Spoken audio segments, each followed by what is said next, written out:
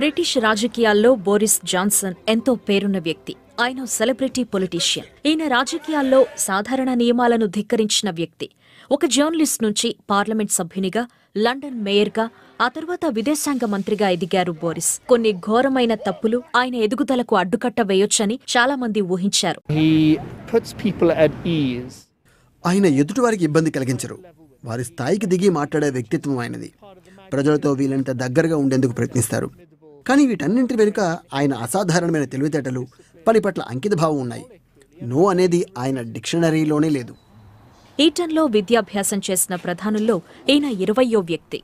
ఆక్స్ఫర్డ్లో విద్య పూర్తి చేశాక జర్నలిజాన్ని తన కెరీర్గా ఎంచుకున్నారు బోరిస్. అలా అంచెలంచెలుగా ఎదుగుతూ చివరికి రాజకీయాలే తన ప్రధాన కార్యరంగంగా ఎంచుకున్నారు.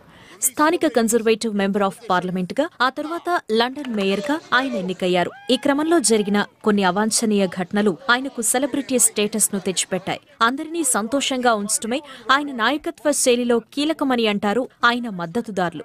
కానీ కొన్నేళ్ళుగా ఆయన వ్యక్తిగత జీవితం వార్తల్లో నిలుస్తూ వచ్చింది. వివాహ బంధంలో ఉండగానే ఆయనకు చాలా ఎఫ్ఐఆర్లున్నాయని వార్తలొచ్చాయి. గతేడాది బోరిస్ తన భార్య నుంచి విడిపోయారు. దీంతో ఆయన వృత్తిపరమైన సంబంధాలు కూడా చాలా వరకు దెబ్బతిన్నాయి. నిజానికి ఆయనపై అందరికీ నమ్మకం లేదు. ఆయన తాను చేయాల్సిన పనులు చేయలేకపోయారు. తాను మాట్లాడాల్సిన విషయాలు మాట్లాడలేదు. సమస్యల పట్ల సరిగా స్పందించలేదు. దేశాన్ని ముందుంచడానికి బదులు తనను తానే ముందుంచే వ్యక్తి ఆయన.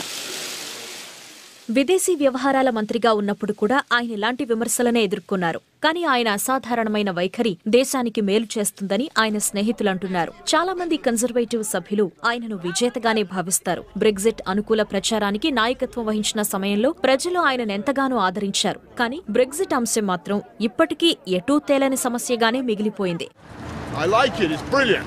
దేశాన్ని నడిపించాలి అంటే కొత్త ప్రధాని బోరిస్కు చరిష్మాకు మించి ఇంకా కావాల్సి ఉంటుంది. Cheers!